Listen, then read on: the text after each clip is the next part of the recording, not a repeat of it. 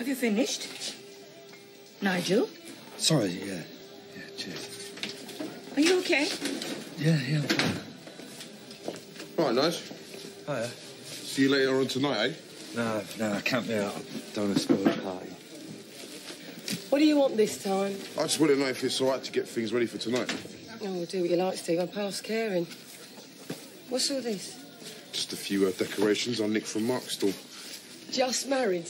That's going to go down well, isn't it? Oh, yeah, anything to get him in the mood, hey? Oh, yeah.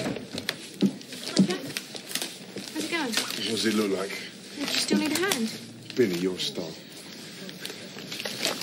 Well, it's a funny place to put a memorial. What's funny about it?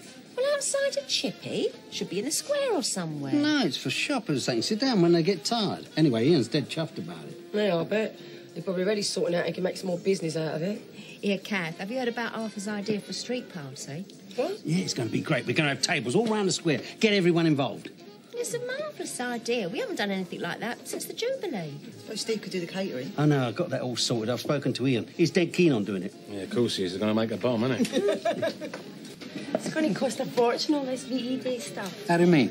I mean, the memorial thing, I mean, who's going to pay for all that? Well, the council, of course. I just think the money should be spent in hospitals and education, something that's really important. Ruth, this is VE Day. What could be more important than remembering the dead?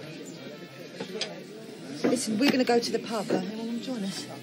Oh, why should we? We're quite happy here. Well, we got something to celebrate, haven't we? Tell? Yeah, why not? We're thinking of going into property. Hello, Ian. It's great to see you here. Yeah, it makes two of us. Something wrong? No, no, I just thought I'd drop in, you know, see how things are going. Well, that was nice of you. All right, Ian. There's uh, Steve's over there. You want to talk to him? All right. What do you want? I just thought I'd sort of drop in. Uh, wish you luck. You what? Well, I hope everything goes all right. Honestly, I mean it. I hope it's a great success. Yeah, thanks. Thanks a lot.